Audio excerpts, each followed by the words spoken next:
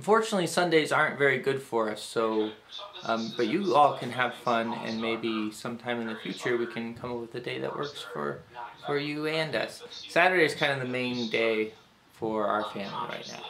Alright, best you.